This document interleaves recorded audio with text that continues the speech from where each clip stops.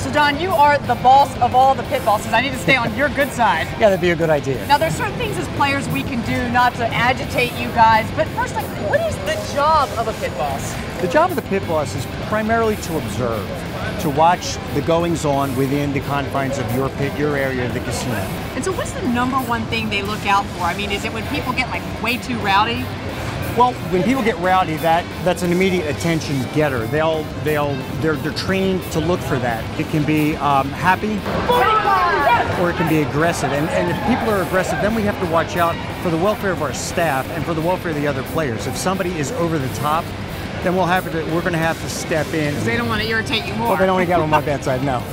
Now, I wish I could count cards, but I can't. Is that something that will flag the attention of a pit boss? That is something that will draw the attention of the pit boss. Yes. Now, why? Now, card counting, it's not really illegal, is it? No, it's not illegal, but we have to take precautions to protect our assets. It's not illegal to card count, but we do take steps to limit their accessibility. How do you do that? Here at Mohegan Sun, we tell them that your minimum bet is your maximum bet, which means you can't bet more than the table minimum. A lot of times they'll come in with friends or in teams, as we like to say.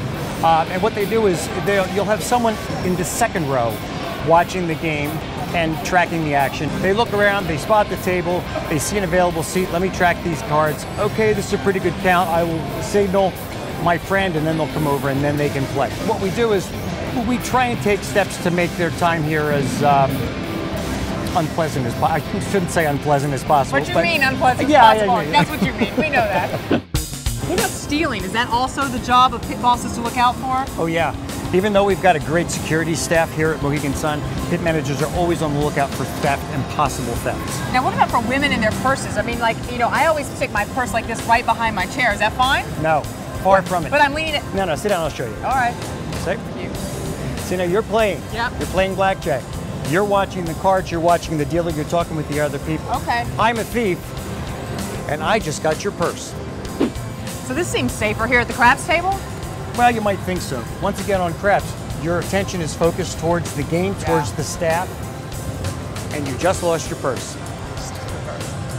So what do I do with this? I don't want to hang on to it all night. You're going to have to. If you're here at a crap table, keep it on your wrist and lean in like that. Like this? Yes, either Here, that. you do it. All right, I'll be your boyfriend. Yeah.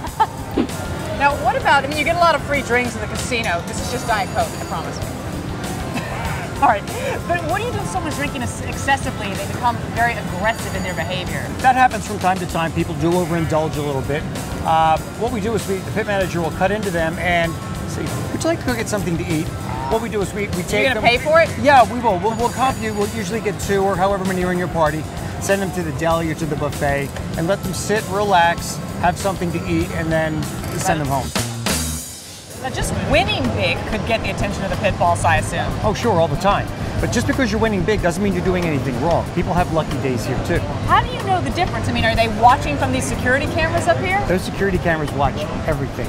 But they're trained, they look for different things. They look for faces, they look for different identifiers. They're on the lookout for anything dishonest.